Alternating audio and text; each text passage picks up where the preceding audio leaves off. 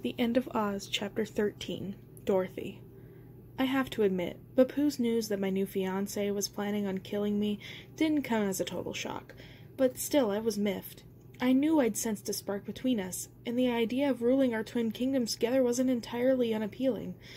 I don't like to share, it's true, but I've also never met anyone who came as close to being my equal. Okay, Bapu, I said. What exactly did you hear? Why did the Gnome King go to all this trouble to rescue me if he's only going to kill me? That doesn't make any sense at all. Bapu snuffed a little and dabbed at the corner of her eyes with her sleeve. The shoes, she said miserably. He wants Mistress's shoes. I know that, I said, rolling my eyes. He thinks they're his, the ninny, but he can't have them. They're bound to me. If he kills me, they'll be useless. It occurred to me as I said this that I had no idea if it was true, except in a way I did. If he could get the shoes back just by offing me, I have been dead the minute he he'd found me. So it was something else.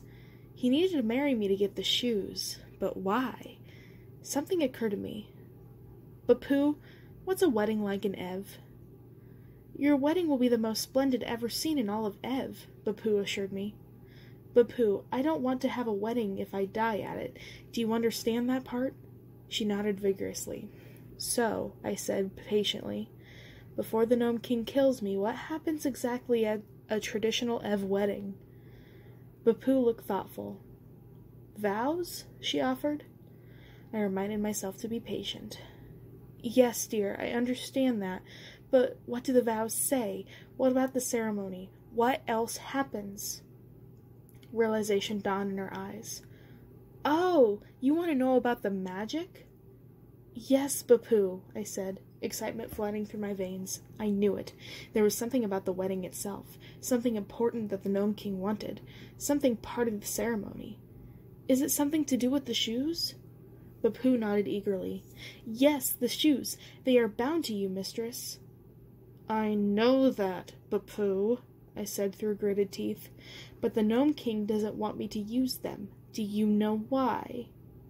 He wants their magic back? I need to know why he wants to kill me, I shrieked, unable to control myself any longer. Oh, Bapu said. You should have said that to begin with, mistress. The shoes are bound to you, but Ev's wedding vows are magical. All magic is shared between the spouses. So I can siphon off the Gnome King's magic? I asked. That didn't make sense at all. Why would he risk making himself vulnerable? Bapu was already shaking her head. That's not his plan, mistress. He doesn't like to share anything. Magic can be stolen once it is bound. With blood.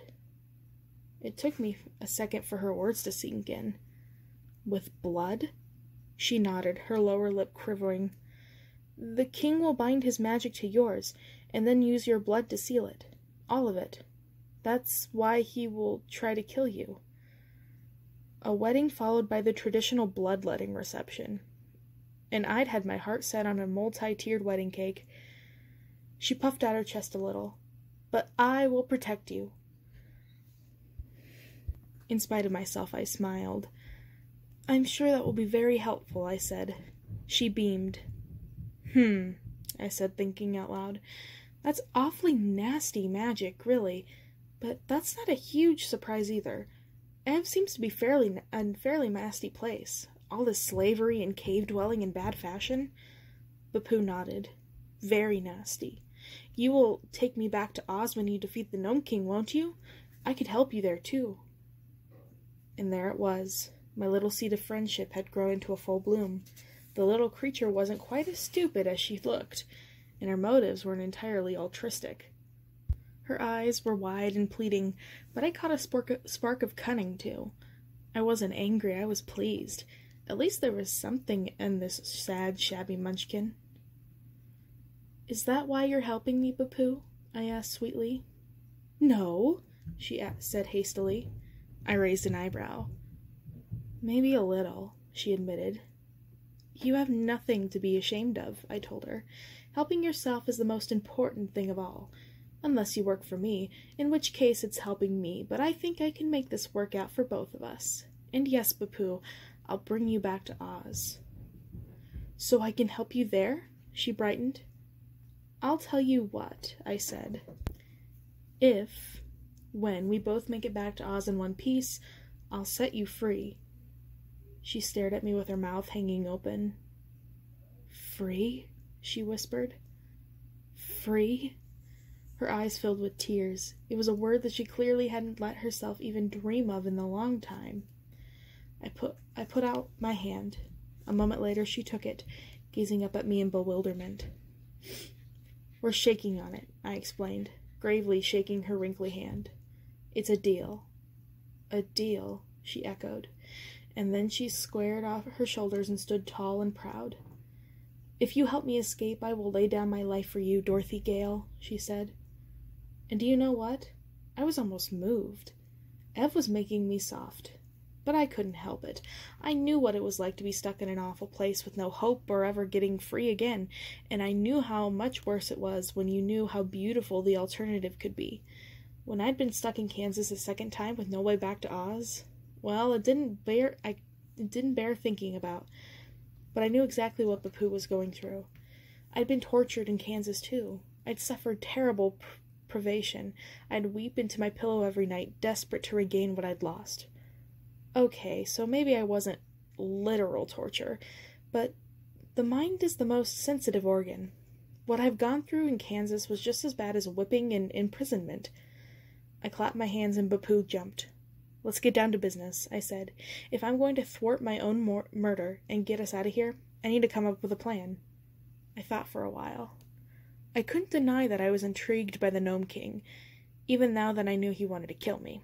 He just wanted his power back, and that much I could understand. It wasn't his fault. I stood in his way, although I was a little miffed he hadn't even asked me to share. I was clever, rich, and beautiful. What ruler wouldn't want me at his side? But the Gnome King was ancient. It was no wonder his power had run down dark and ugly paths in the centuries he'd been holed up underground, hating the outside world. And from the look of things, he and I had very different approaches to the way we cared for our kingdoms. Queendoms, whatever.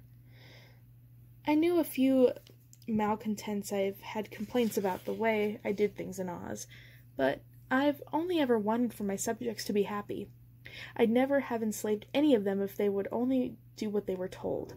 Plus, when they were miserable, I'd order them to follow the happiness decree, and when that failed to cheer them up, I'd insisted on perma-smile.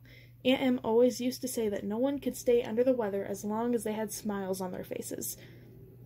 I would never let my subjects suffer the way the Gnome King did. Why, he didn't even insist they look happy when he was around them. I mulled over what to do next as Bapu brushed out my hair.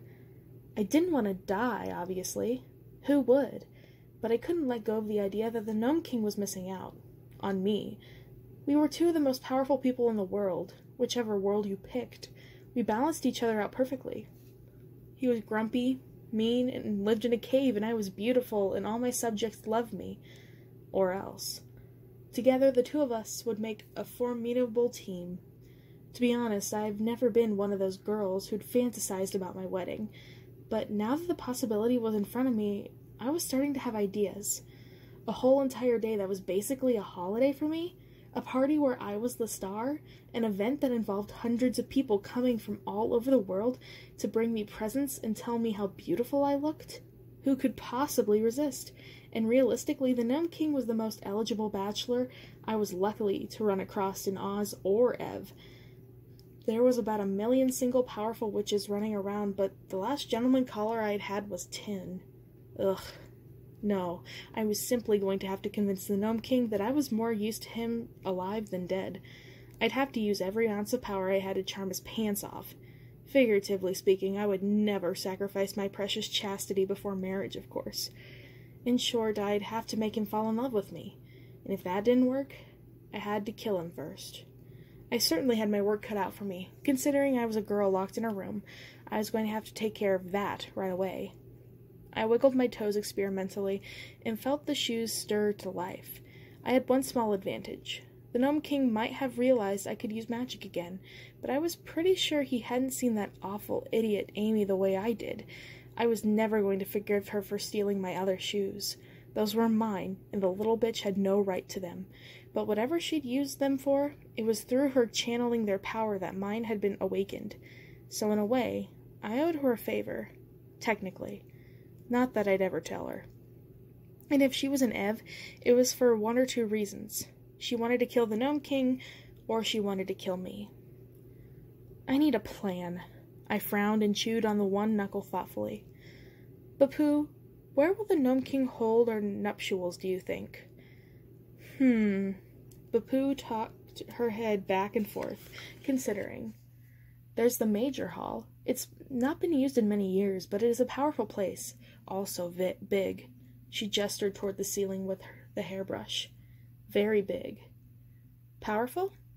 Old magic. Very dangerous. She shivered. Diggers, she said. Diggers used to sacrifice people there. That'll be the place then, I said cheerfully. Good work, Bapu. How many entrances does it have? Only one, mistress. Well, I just better be sure I kill him then, if I couldn't make him fall in love with me. A single exit from what was, I was sure, I was sure going to be a very well guarded event. Even at the height of my powers, that would have made for a tricky escape, and while my shoes seemed to be walking up again, waking up again, or whatever it was they were doing, I could tell my magic was still hard to access this far from Oz. It made sense that the shoes would work here, if they'd really come from the Gnome King somehow, and it made sense too that my own magic would work best in Oz. But if I could practice with my shoes, maybe I could find a way to amplify my power. Except that based on what happened at that sad excuse for a banquet, the Gnome King could tell if I used them. But there was another weapon I could use against him if I had to. Amy Gumm. I sighed heavily, and right on cue, the door opened. Oh, hello, darling, I cooed, jumping to my feet. Thanks to Bapu's efforts, my hair spilled around my shoulders in glossy waves, and I was still wearing the dress I'd put on for the Gnome King's banquet. It wasn't my best look by a long shot, but I'm an enterprising girl. The Gnome King did not look thrilled at the sight of me. Don't think you can fool me, Dorothy, he growled. All pretense of the dashing suitor was gone. His tone was threatening. I widened my eyes and looked at him prettily through my lashes. I'd be wasting my time playing dumb at this point, but I could still take him by surprise. You need me, I purred, so be a little nicer. To my satisfaction, he actually looked taken aback, and then he laughed. You're a prisoner in my kingdom who couldn't use magic until an hour ago, he said, and I'm guessing you're not up to full strength quite yet. I hardly think I need you. I'm your guest, not your prisoner. Be respectful when you address me, I snapped. I'm not some dim-wit glitterball like Glinda. You don't have any idea who it is you're trifling with. I can make you regret the day you were born, you doddering old coot. His face contorted into a frown. Well, that got his attention. I'm not trying to trick you, I added with dignity. Believe me, I have no idea what happened back there. That was the truth, and I made sure to look him in the eye when I said it. And I have an idea how, or if, I could make anything like that happen again. So that was maybe the teeniest fib. I knew my magic was back. I just didn't know what to what extent, or if I could even harness it fully. So it let my little white lie that gloss of truth. He looked closely at my face and then seemed satisfied. When we are married, my darling, there will never be any secrets between us, I promised, batting my eyelashes again. Other than the fact that you want to kill me, I thought. But really, over my dead body, I'd find a way to stop him, come hell or high water. Of course not, he said smoothly. His smile was bland and pleasant now. He knows I'm lying, I thought. He just doesn't know about what. I moved quickly to distract him. Darling, perhaps you'll allow me to make a few suggestions about the wedding, I purred again, looping my arm around his. Might I see the venue and the rest of your palace? I've barely set foot outside this lovely rooms since you brought me here. I refrained from adding that was because he locked me in them.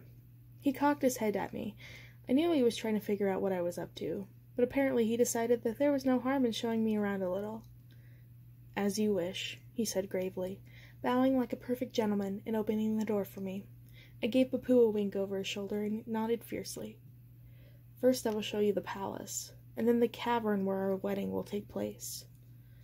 Well, the grand tour was a grand disappointment. Just a bunch of miserable old caverns and dusty tapestries and creepy staircases that went nowhere.